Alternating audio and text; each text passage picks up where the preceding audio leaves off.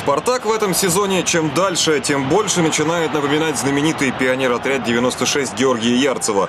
Кроме привычных уже Джанаева и Паршевлюка в стартовом составе на жизненно важный матч выходят Кудряшов, Жано, а позже найдется место на поле и для Рыжкова с Григорьевым. Но и такой расклад отнюдь не заставил хозяев отказаться от желания играть с позиции силы. В этом матче звезды сошлись настолько удачно, что, о чудо, эпизодами, но очень яркими работал даже многострадальный правый фланг. Не самый эффективный в мире хав. Никита Баженов выдал, наверное, лучший КПД в своей карьере. Дважды за тайм он был заметен и оба раза доводил ситуацию, что называется, до ума. В первом случае Гильермо выручила перекладина, а во втором Баженов точнейшим длинным пасом резко переместил атаку справа налево. Кузьмин ушел в центр ловить Велитона, а вот ловить Жано было некому. Торбинский лишь успел подышать ему в спину. И юное спартаковское дарование совершило свой первый по-настоящему большой красно-белый подвиг. Впервые в короткой карьере она Леонидзе такие штормовые овации были адресованы персонально ему. Если будет расти, будет продолжать также относиться, возможно, получится хороший, сильный игрок. Локомотив в первом тайме не двигался по тупиковым рельсам, но в завершающей стадии концы с концами не сходились. Самый опасный момент у команды Юрия Семина возник в результате опасной срезки спартаковского защитника. Джанаев и своим забить не позволил. Мы не играли в свою лучшую игру сегодня. Думаю, что можно сказать, что этот перерыв не пошел нам на пользу. А чуть-чуть э, нам нужно было раскачиваться. Первый тайм э, начинали недостаточно агрессивно, было мало движения. Дали уверенность э, игрокам «Спартака», и они в течение матча этим воспользовались. После гола «Спартак» мог позволить себе сыграть и вторым номером, что и было сделано с успехом. «Локомотив» все более отчаянно лез на рожон, и хотя бы раз при большом оперативном просторе реактивный Велитон должен был получить возможность пробежать свой голевой спринт. Ждать пришлось до середины второго тайма. Офсайдный капкан жадно щелкнул, поймав воздух, а лучший бомбардир чемпионата не отказал себе в удовольствии привести Гильермо в горизонтальное положение. Мы сделали много замен атакующими игроками. Но этот риск у нас не удался. Спартак нас наказал э, такими контратакующими действиями.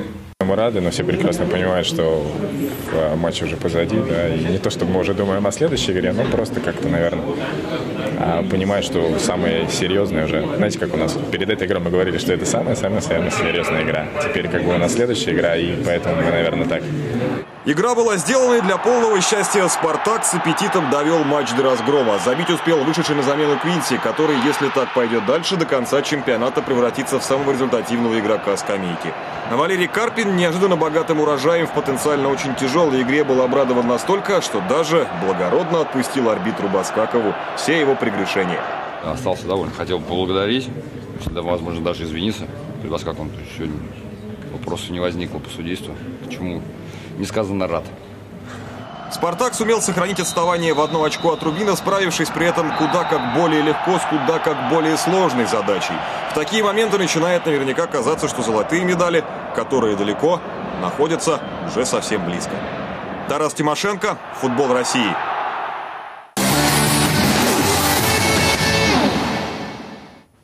«Спартак» сегодня э, может найти свое счастье только в атакующих действиях. И если, если футболисты «Спартака» делали все для того, чтобы ускорить атаку, если переводили мяч с фланга на фланг, если подключались полузащитники своевременно, если э, нападающие при любой, любой возможности были поворотом, это говорит о том, что они играют атакующий футбол. И они не думали об обороне. Или от обороны к атаке они не играли с локомотивом. Вот какая странная ситуация. Валерий Карпин работает главным тренером полгода. Юрий Семин работает главным тренером десятилетия. Состав у них по исполнителям, ну, по крайней мере, примерно одинаковый, если не сильнее у «Локомотива». Почему 3-0 получилось? Вы знаете, если мы сейчас будем говорить о том, что вот э, по счету будем говорить о силе команды, это неправильно. Потому что в каждой игре у любой команды бывают моменты. Когда мы считаем, что этот момент, это чистый гол, ее надо было забивать.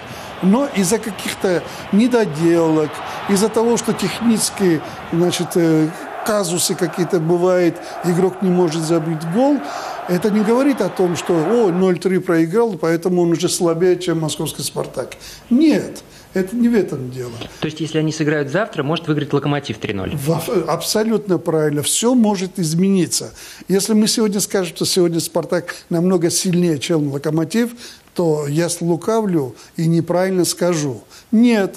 В принципе, команды сегодня, они по своему э, значит, э, техническим по своим показателям, физической готовности, они все одинаковые.